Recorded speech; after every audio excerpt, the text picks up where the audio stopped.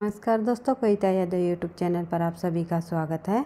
संपूर्ण हिंदी विषय की तैयारी को आगे बढ़ाते हुए आज की क्लास में हम करेंगे हिंदी साहित्य के वस्तुनिष्ठ प्रश्न हिंदी साहित्य के उन महत्वपूर्ण वस्तुनिष्ठ प्रश्नों को हम करेंगे जो कि परीक्षा में बार बार पूछे जाते हैं। आज की क्लास से आपकी परीक्षा में कई सारे प्रश्न आपको देखने को मिलेंगे।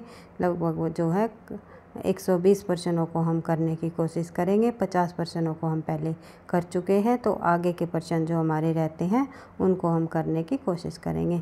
तो आज की क्लास होगी। भाई, आपके लिए काफ़ी मददगार साबित होगी। जिस भी परीक्षा में हिंदी साहित्य संबंधी प्रश्न पूछे जाते हैं एन टी नेट की परीक्षा हो या T G T P G T किसी भी स्टेट की परीक्षा हो, या फिर जो है आपकी कोई परीक्षा हो जिसमें हिंदी साहित्य से संबंधित प्रश्न पूछे जाएँगे, उन सभी के लिए ये क्लास मददगार साबित होगी। तो शुरुआत कर लेते हैं आज की क्लास की। तो प्रश्न संख्या हम पचास तक पहले कर चुके हैं। उर्मिला के विरह में मानवता की पुकार, यह अधिक स्वाभाविक है, साथ ही गरिमा की न्यूनता नहीं। यह विश्व व्यापी है। कथन किसका है? तो ये जो कथन है, डॉक्टर नगेंद्र जी द्वारा कहा गया है। उर्मिला की विरह में मानवता की पुकार है, यह अधिक स्वाभाविक है। बढ़ते हैं आगे। अगला प्रश्न, हमारा प्रश्न संख्या इक्यावन। सुमित्रा नंदन पंत आलोचना के क्षेत्र में किसकी पहली पुस्तक है?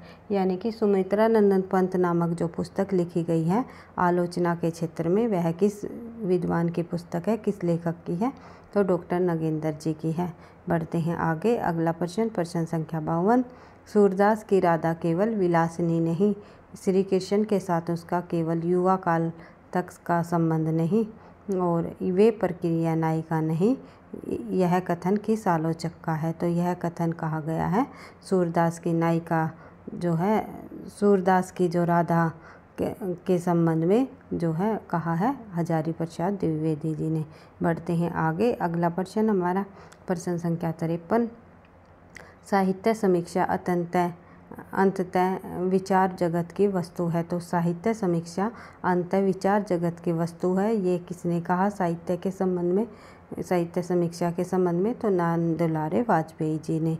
तो नंद दुलारे वाजपेयी ने ये कथन कहा है कि साहित्य समीक्षा, अंततः विचार जगत की वस्तु है। बढ़ते हैं आगे, अगला प्रश्न हमारा देखते हैं।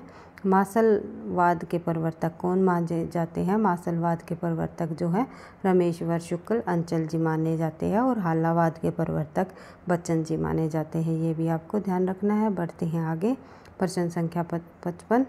किसके काव्य में रोमांस तो है, लेकिन निराशा और दुख जनहित तो यह किसके बारे में कहा है? तो नरेश शर्मा, सॉरी भाई नरेंद्र शर्मा जी के काव्यों के बारे में ये कहा है कि इनके काव्य में जो है रोमांस तो है लेकिन निराशा और दुख जनित। तो बढ़ते हैं आगे। अगला प्रश्न, हमारा प्रश्न संख्या छप्पन। हालावाद के प्रवर्तक, अभी मैंने बताया था, हरिवंश राय बच्चन और मासलवाद के प्रवर्तक रामेश, रमेश्वर शुक्ल, अंचल जी। तो ये दोनों जो है प्रवर्तकों से भी संबंधित काफ़ी सारे प्रश्न परीक्षाओं में पूछे जाते हैं। छायावाद के प्रवर्तक, प्रगतिवाद के प्रवर्तक, प्रयोगवाद के प्रवर्तक, मासलवाद के प्रवर्तक, हालावाद के प्रवर्तक जो है, काफ़ी सारे प्रश्न हमें देखने को मिलते हैं। तो देख लेते हैं आगे। अगला प्रश्न हमारा प्रश्न संख्या सत्तावन। हालावाद का समय काल क्या माना जाता है? तो हालावाद का समय काल माना जाता है 1933 से लेकर के 1936 तक। ये काल जो है हालावाद काल का समय कहलाया, जो कि हमारा ये जो काल है, ये एक तरह से हम कहें तो छायावाद युग के के अंतर्गत ही आता है। छायावाद युग की जब समाप्ति होने जा रही है और जो है प्रगतिवाद की जब शुरुआत होती है, उन्हीं के बीच के जो काल रहा है हमारा, वो हालावाद काल कहलाया है। जैसे कि 1850 ईस्वी से लेकर के भारतेंदु हरिश्चंद्र के जन्म से 1900 तक जो है भारतेंदु युग माना जाता है। उसके बाद 1900 से लेकर के 1920 तक जो है 18 या 20 तक जो है हमारा द्विवेदी युग आया। उसके बाद जो है 1920 से लेकर के 1900 जो है 36 तक जो है हमारा छायावाद युग कहलाया तो 36 से पहले, यानी कि 1933 के से लेकर जब जो है प्रगतिवाद की जो हमारा वो प्रगतिवाद की जो थोड़ी थोड़ी प्रवृत्तियाँ आने लग गई थी तो वहीं से जो है हालावाद की शुरुआत भी हुई थी और जो ये बीच का काल हमारा हालावाद का समय कहलाया। उसके बाद बात करें आगे, प्रश्न संख्या अट्ठावन, हालावादी कवि कविता को, व्यक्तिक कविता किसने कहा? हल्लावादी कविता को व्यक्तिक कविता कहने वाले जो विद्वान हुए, वे रहे। व्यक्तिक कविता कहने वाले विद्वान हुए हैं डॉक्टर नगेंद्र जी। ये यहाँ पर आप टाइपिंग मिस्टेक के कारण यहाँ नहीं हुआ तो आंसर आप डॉक्टर नगेंद्र लिख सकते हो। तो डॉक्टर नगेंद्र ने जो जो है, छायावाद युग से के जो बाद का जो युग रहा, छायावाद का अंत जब होने लगाया था और प्रगतिवाद के युग से जो पहले का युग रहा, उस, उन, उस काल को क्या, उस काल की जो कविताएँ हैं, उनको क्या कहा है? व्यक्तिक कविता। ये आपको ध्यान रखना है। उसके बाद बात करें आगे प्रश्न संख्या उनसठ। हालावादी कवि काव्य को, मस्ती, उमंग और उल्लास की कविता किसने कहा? हालावादी कवि, काव्य को जो है मस्ती, उमंग और उल्लास की कविता कहने वाले विद्वान हुए हजारी प्रसाद द्विवेदी। बढ़ते हैं आगे। हालावादी कविता का प्रबल भाव क्या माना जाता है? तो व्यक्तिकता ही हालावादी कविता का प्रबल भाव माना जाता है। उसके बाद देख लेते हैं आगे। निराशावादी कवि कहा जाता है। हालावादी कवियों को, प्रेम मस्ती का कवि, निराशावादी कवि भी जो है हालावादी कवियों को माना जाता है। उसके बाद बात करें आगे। अगला प्रश्न हमारा, प्रश्न संख्या तिरसठ।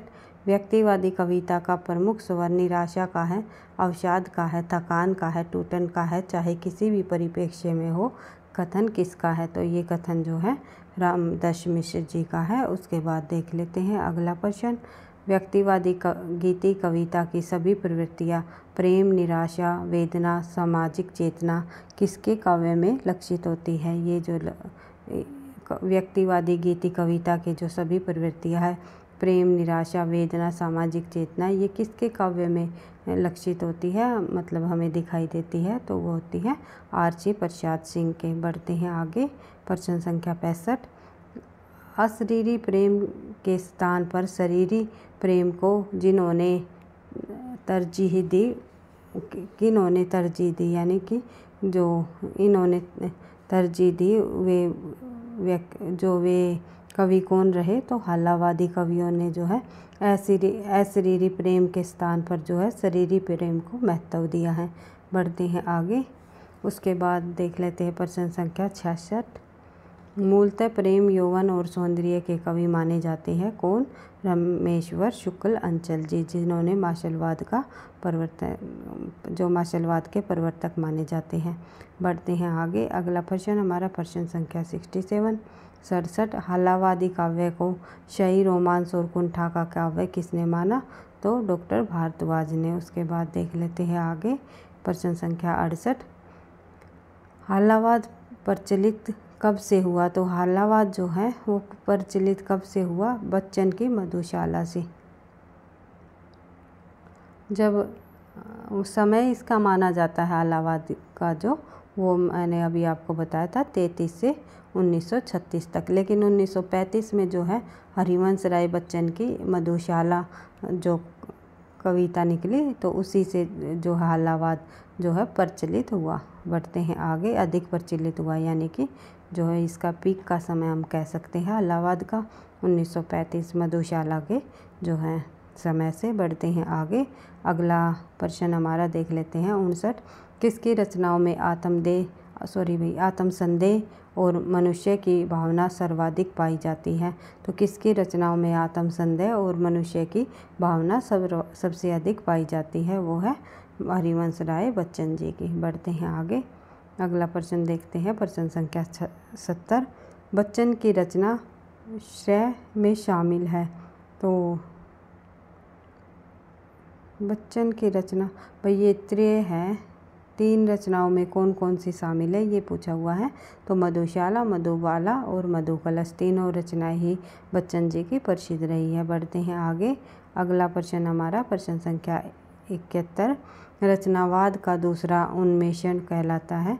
रचनावाद सॉरी भाई, छायावाद का दूसरा उन्मेषण क्या कहलाता है? रचनावाद नहीं, छायावाद। अभी रचना रचना पढ़ रहे थे तो ध्यान नहीं रहा। तो ये रचनाएँ देख रहे थे हम, मधुशाला, मधु, बाला मधु कलश जो हमारे माइंड में होता है, वही हमारे जो है हम बोलने लग जाते हैं। तो थोड़ा सा इसके लिए माफ़ी माफ़ी चाहूँगी। भाई, अगला प्रश्न हम इकहत्तर देख लेते हैं। छायावाद का जो दूसरा उन्मेषण कहलाता है क्या कहलाता है? उत्तर छायावाद। बढ़ते हैं आगे। अगला प्रश्न प्रश्न संख्या बहत्तर। उत्तर छायावाद को, छायावाद का दूसरा उन्मेषण, किसने कहा? उन्मेष किसने कहा? दूसरा उन्मेष छायावाद को, जो है उत्तर छायावाद को किसने माना है? वो है हजारी प्रसाद द्विवेदी जी। उसके बाद देख लेते हैं प्रश्न संख्या तिहत्तर। उत्तर छायावाद में कितने प्रकार की काव्य धाराएँ विकसित हैं? तो उत्तर छायावाद में जो है दो प्रकार की काव्य धाराएँ विकसित रही है, राष्ट्रीय काव्य धारा और व्यक्तिक। उसके बाद देख लेते हैं आगे प्रश्न संख्या सेवेंटी फोर, चौहत्तर। छाया, उत्तर छायावाद को स्वच्छंद काव्यधारा किसने कहा? तो उत्तर छायावाद को स्वच्छंद काव्यधारा नाम देने वाले विद्वान है Acharya Ramchandra Shukla. Very very important person है भाई। वेरी मोस्ट इम्पोर्टेंट पर्सन है। ये कई बार परीक्षाओं में पूछा जा चुका है। बढ़ते हैं आगे। गणपति चंद्र गुप्त ने उत्तर छायावाद की कित, को कितनी धाराओं में बांटा? तो गणपति चंद्र गुप्त ने उत्तर छायावाद को जो है तीन धाराओं में बांटा है। कौन कौन सी? देख लेते हैं। राष्ट्रीय चेतना प्रदान धारा और व्यक्तिक चेतना प्रदान और समष्टि चेतना प्रदान। इस प्रकार से गणपति चंद्रगुप्त ने उत्तर छायावाद को जो है तीन धाराओं में बांटा, काव्य धाराओं में बांटा है। बढ़ते हैं आगे, प्रश्न संख्या छिहत्तर। हालावाद की प्रगति प्रयोग का पूर्वाभास किसने कहा? हालावाद को प्रगति प्रयोग का पूर्वाभास किसने कहा? यानी हालावाद जो है प्रगतिवाद और पूर्व, प्रयोगवाद का पूर्वाभास मतलब पूर्व में आभास होने लग गया था प्रगतिवाद और प्रयोगवाद का। तो ये कहा डॉक्टर बच्चन जी ने। बढ़ते हैं आगे, प्रश्न संख्या सतहत्तर। हरिवंश राय बच्चन का जन्म कब हुआ? तो हरिवंश राय बच्चन का जन्म 1907 में हुआ और एक छायावादी लेखक का भी जन्म 1907 में हुआ है। ये आपको कमेंट बॉक्स में बताना है कौन है। तो ये बढ़ते हैं आगे किस साहित्यकार का जन्म और 1907 में हुआ है। ये आपको बताना है। बढ़ते हैं आगे। अगला जो हमारा प्रश्न है, प्रश्न संख्या अठहत्तर। हरिवंश राय बच्चन रचित काव्य संग्रह माना जाता है। हरिवंश राय बच्चन द्वारा रचित प्रथम काव्य संग्रह कौन सा है? तो वह है मधुशाला।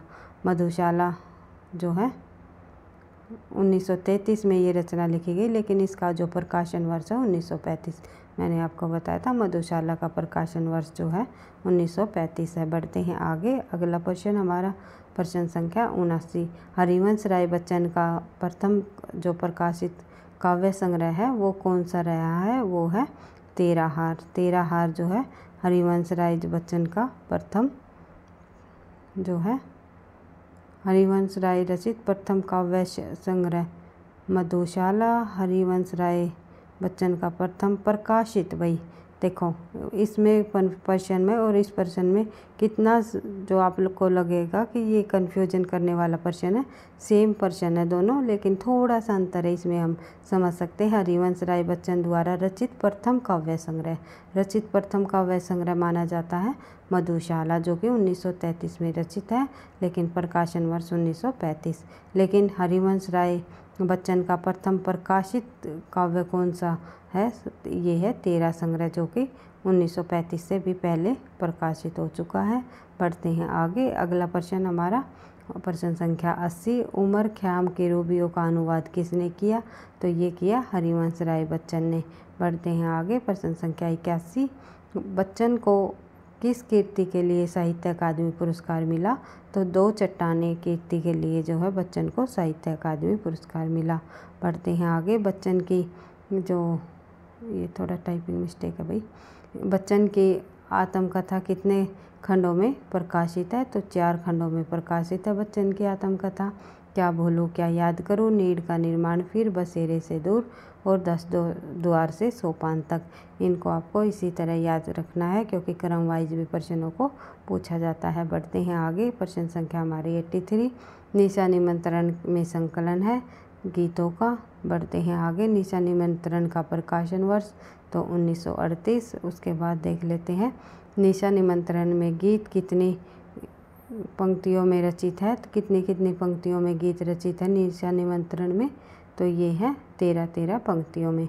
और निशा निमंत्रण का प्रथम गीत कौन सा माना जाता है तो दिन जल्दी जल्दी ढलता है। और ये निशा निमंत्रण किसकी रचना है, ये जो है हरिवंश राय बच्चन जी की है। बढ़ते हैं आगे।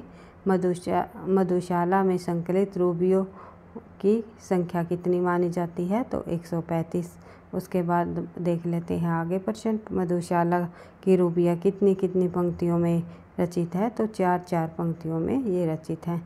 और उसके पहले हमने जो है निशा निमंत्रण की जो कितनी कितनी पंक्तियों में रचित है, वो तेरह तेरह पंक्तियों में निशा निमंत्रण की रचित है। लेकिन चार चार पंक्तियों में जो है मधुशाला की ये पंक्तियों में रचित रचना है। बढ़ते हैं आगे। प्रश्न संख्या नवासी।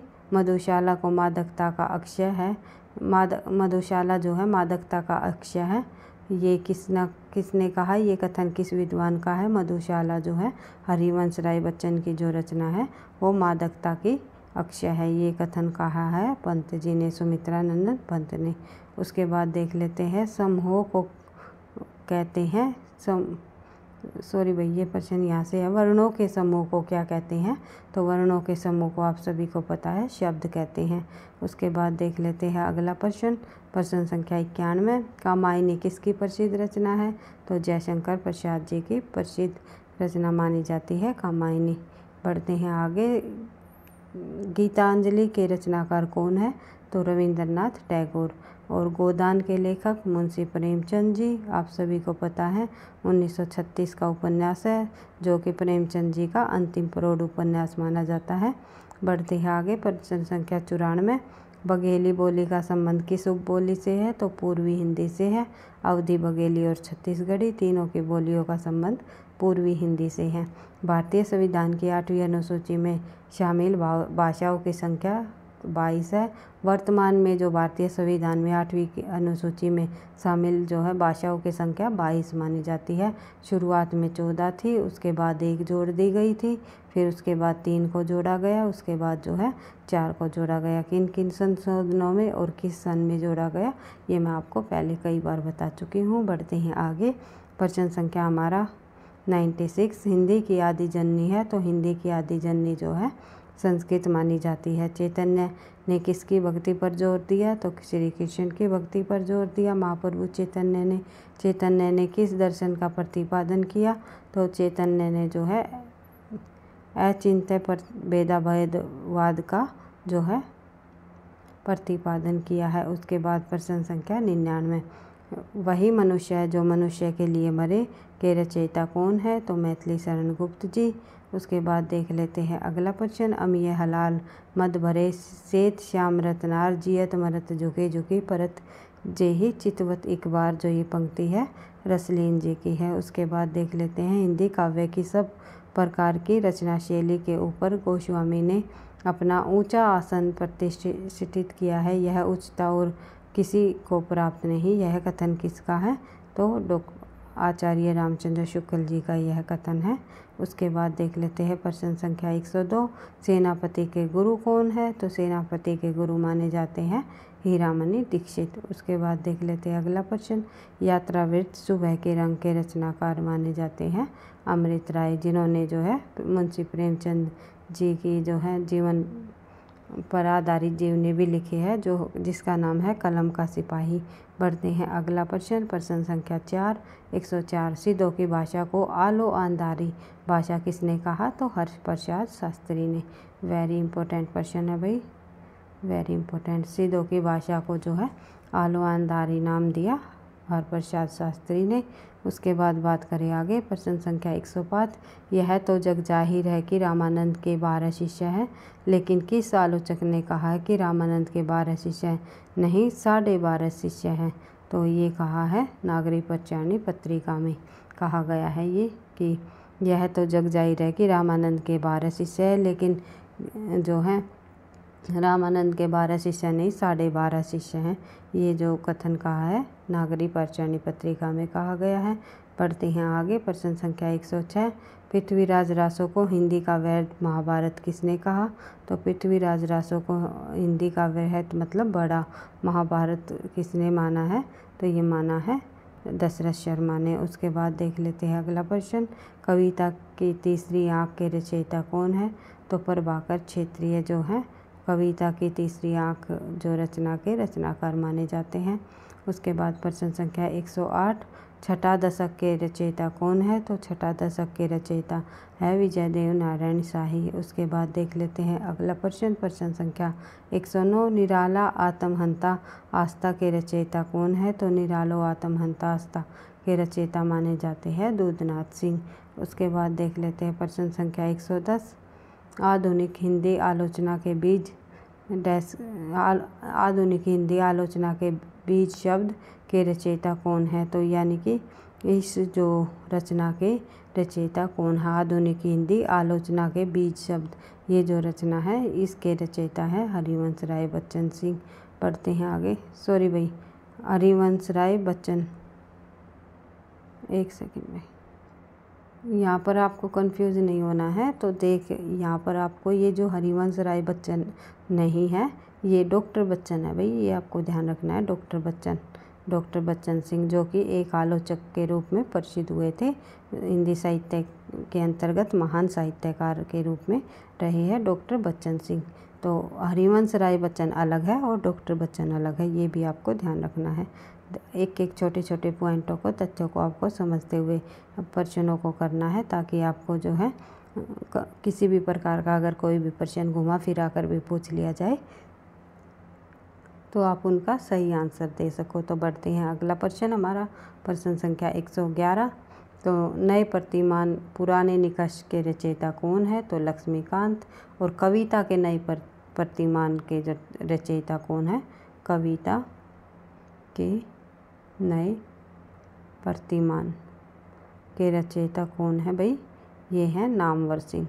नामवर सिंह ये आपको ध्यान रखना है। अगर आ जाए कव, नई कविता के प्रति पुराने निकस तो लक्ष्मीकांत और कविता के नए प्रतिमान जो रचना है वो ना, नामवर सिंह जी की है। पढ़ते हैं आगे। अगला प्रश्न हमारा नागरी तेरी यह दशा कविता किसकी है? तो महावीर प्रसाद द्विवेदी जी ने नागरी जो कि देवनागरी लिपि के ऊपर जो है कविता लिखी थी कि, नागरी तेरी यह दशा क्योंकि हिंदी को उन्होंने जो है आगे बढ़ाने का कार्य किया था। जैसे कि उन्होंने सरस्वती पत्रिका का जो संपादन किया था तो उसमें जो है हिंदी को बढ़ावा दिया था, भाई देवनागरी को पढ़ते हैं आगे।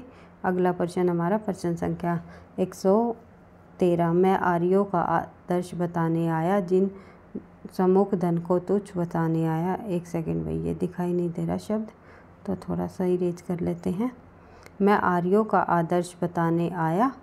जन जन सम्मुख धन को तुच्छ बताने आ, जताने आया। यह जो पंक्ति है ये मैथिली शरण गुप्त जी की है। पढ़ते हैं आगे। हृदय दर्पण नामक ग्रंथ के रचयिता है। कौन है? तो हृदय दर्पण नामक जो ग्रंथ है, वो इसके रचयिता रहे हैं भट्टनायक जी। उसके बाद किस आचार्य के सर्वप्रथम रीति एवं वृत्तियों के रस, रसानुकूल प्रयोग पर बल देकर रस सिद्धांत के इतिहास में समर्थानून तथ्य प्रस्तुत किए गए, ये किए गए रुद्रट ने। रुद्रट ने जो है, जो भाव, भामा ने जो काव्य अलंकार की रचना की थी तो रुद्रट ने भी जो है, बिल्कुल सेम उसी नाम से जो है, ग्रंथ की रचना की है, काव्य अलंकार। इनके ग्रंथ का भी नाम रुद्रट के ग्रंथ का भी नाम जो है, काव्य अलंकार ही है, और भामा के ग्रंथ का भी जो है, काव्य अलंकार ग्रंथ ही रहा है। ये भी आपको ध्यान रखना है। उसके बाद बात करें आगे।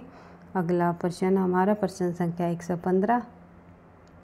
मोहम्मद चिन चिनगी प्रेम के सुनही मही गगन डेराई धनी बिरहई को धनी हिया जह असी अग, अगिनी समाई। जो ये पंक्ति है ये किसकी है? तो ये पंक्ति जो है जयसी जो द्वारा लिखी गई सूफी कवि जयसी जी की है। उसके बाद देख लेते हैं अगला प्रश्न प्रश्न संख्या।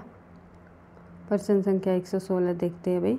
कविता करके तुलसी ना लसे, कविता पा लसी तुलसी की कला, ये जो पंक्ति है, ये किसकी है? तो हरियोद जी की है, अयोध्या सिंह उपाध्याय हरियोद हरियोद जी की ये कविता है। पढ़ते हैं आगे, अगला प्रश्न है, प्रश्न संख्या 117 निर निरअंकुश अति निडर, रसिक जस रसना गायो यह पंक्ति जो है, किसके संदर्भ में कही गई है? तो ये मीराबाई जी के संदर्भ में कही गई है। पढ़ते हैं आगे। अगला प्रश्न हमारा। रीतिकाल का वह कवि जिसने खड़ी बोली में जो है, शीत वसंत नामक प्रबंध रूप में कहानी लिखी, वे रहे हैं चंद कवि। उसके बाद बात करें अगला प्रश्न। रीतिकाल में किस कवि का उपनाम काष्ट जीवा स्वामी था? तो ये था देव बनारस वाले का। और उसके बाद बात करें आगे। हिंदी का प्रथम जय काव्य कौन सा है? तो खुमान रासो कुछ प्रश्न आपको, नए प्रश्न भी आपको देखने को मिले हैं। इस प्रश्नों के पीडीएफ के माध्यम से और जो है, हमने बहुत सारे प्रश्न उन्हीं प्रश्नों को किया है, जो कि परीक्षाओं में पूछे जाते हैं।